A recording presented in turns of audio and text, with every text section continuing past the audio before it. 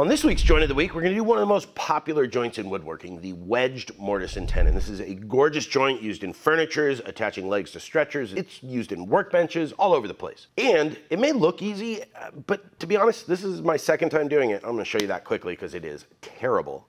So this is this is just a good reminder for me personally to you know remember that good woodworking takes good practice, and that's what Joint of the Week's all about. So let's fix our mistakes and lay out a mortise. So I'm going to assume you have square milled stock. We're starting from that point. I'm going to be attaching a piece of walnut to a piece of walnut with some maple wedges. So we're to put the maple aside for now. Now, when laying out a mortise, you need to consider a few things. One for me, what I like to think about is what is going to make my life easier. Usually when you have to do mortise and tenon, you got quite a few of them to do.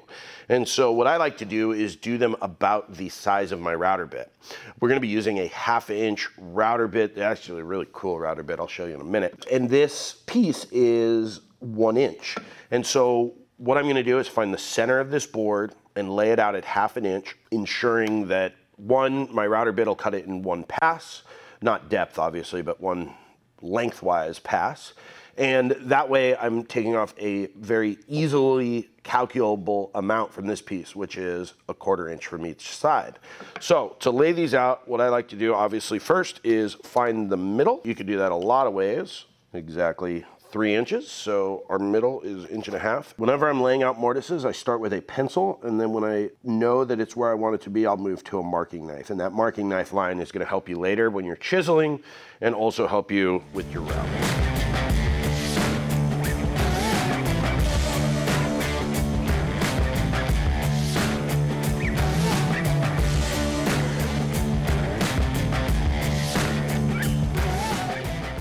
I'm going to be using this really cool ultimate router jig that I built. It does all sorts of things. Um, I'll link the video right here in the corner. Really cool. But all you really need is an edge guide for this. You just would need to place this and find the center. I'm also going to be using this really cool half inch bit uh, from a company called BitsBits. There's a discount code down below. Uh, great company. And they put this really cool coating on router bits so they last forever. They're awesome stuff. Um, but the reason I like to use I like to use an upcut bit one because you need to clear chips on a mortise, otherwise everything's gonna get real hot in there and you could ruin the life of your bit or burn your wood. But also a spiral bit as opposed to a straight bit is a lot better at cleaner cuts and removing material. So we're gonna go ahead and set this up and then we'll head over to the table saw and cut our tenons.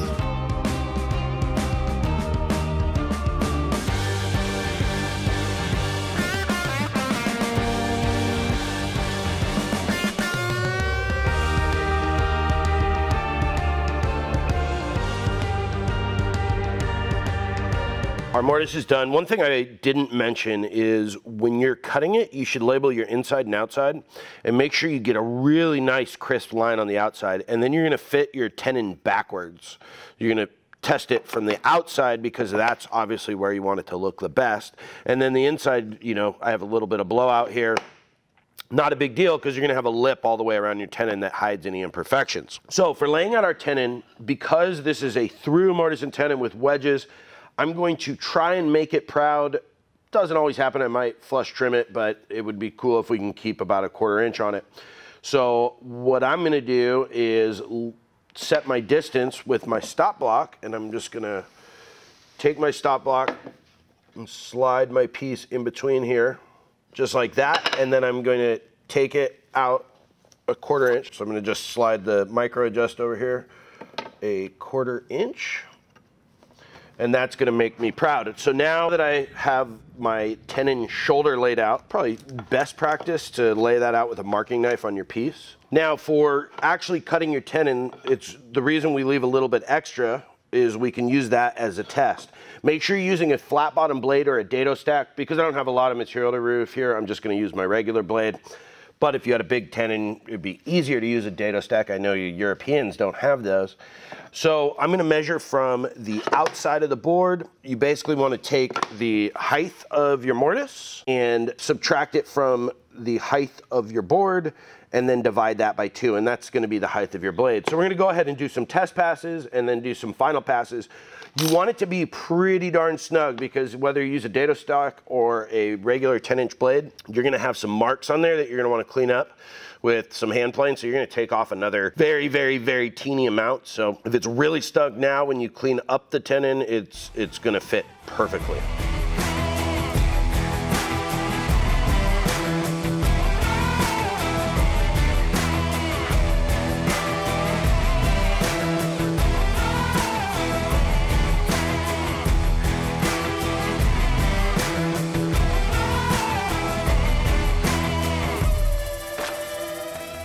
So now we need to drill our relief holes, which will keep this from splitting all the way down, and our kerfs. You can easily cut this with a handsaw, but I find that the size of the wedge that comes with a handsaw kerf is just super thin, and if anything sort of binds up, you're gonna snap them off and end up, you know, having one, a very thin line for your wedge, which I think it doesn't look as cool as maybe a little bit thicker one, and also you risk breaking it off. So I'm actually gonna cut this kerf with my table saw and then we're gonna drill holes here. Uh, and easy way to place holes equally when you're doing an odd number is divide by one more than you're trying to do. So I need two holes, so I'm gonna take this length, one and a quarter, and divide it by three, which is 0.41 and two thirds roughly, which is roughly 13 30 seconds.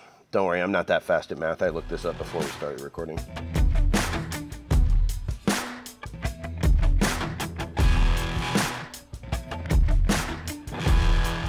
Okay, so now that we have our kerfs cut, it is time to cut our wedges. And here's a great little trick I learned about how to cut consistent, slow tapering wedges. You really want these wedges to be super consistent. Otherwise, you're gonna have something that looks geometrically just sort of off. So what I do is I take something that's about a little, right around double the thickness of the wedge that I want. So we're shooting for an eighth inch length. That's what's going to spread that out. And you're gonna take that piece that's about double the thickness of the wedge that you want and double stick tape that to the edge of your board. And you want it to sit above the surface of your board because you don't want it to get out of square this way. So that's gonna ride along your fence. Then you're gonna take your sawtooth and start it right at the edge of your board. And you want to make sure it's right at the edge because you're going to need to reference the edge later again. So this is going to help you be consistent. So you can see that's just right. That tooth is exactly even with that edge.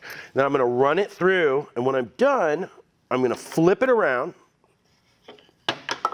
so that the part that I cut the wedge from is flat against the fence. And then I'm going to align the edge of the board again with that final tooth. I'll bump my fence over and that's gonna give me two perfectly consistent wedges. So let me show you how I do it.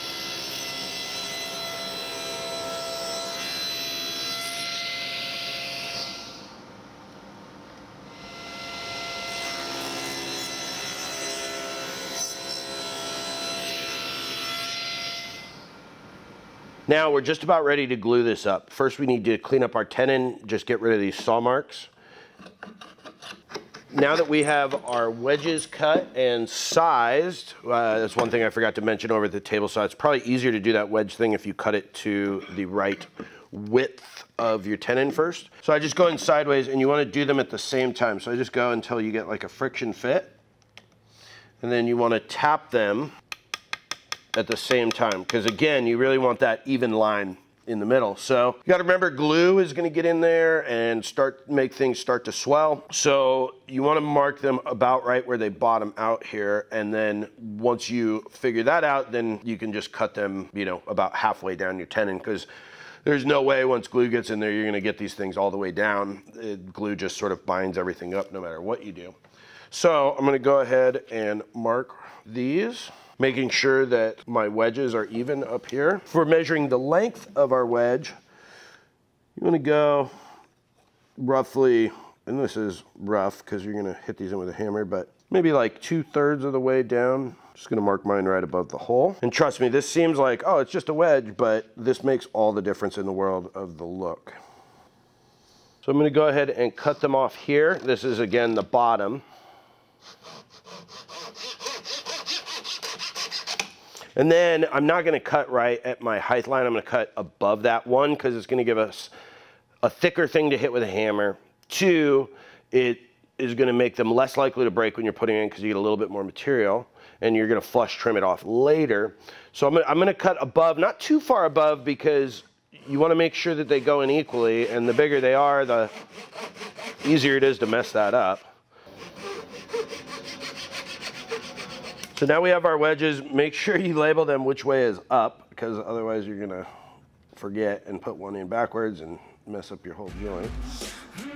Now let's glue it up.